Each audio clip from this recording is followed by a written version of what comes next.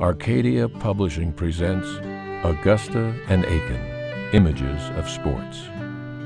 The game of golf got its start in the southeastern United States in 1892 on four holes with sand greens at Palmetto Golf Club in Aiken, South Carolina. Within five years, Palmetto had expanded to 18 holes, and the first nine hole course in neighboring Augusta, Georgia was designed at the Hotel Bon Air. For half a century, the Augusta Aiken area flourished as the winter destination of choice for the rich, famous, and powerful in America.